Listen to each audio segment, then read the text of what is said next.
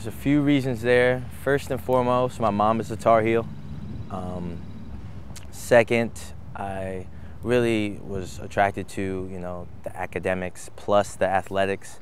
Um, didn't necessarily need it to be a huge party school, but I just wanted there to be a lot of school spirit um, centered around sports. The day I got my acceptance letter was huge. Um, I remember I was downstairs in the basement, just looked it up, read it, was freaking out.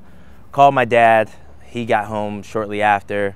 We were really excited, had a great moment. But then I waited until my mom got back.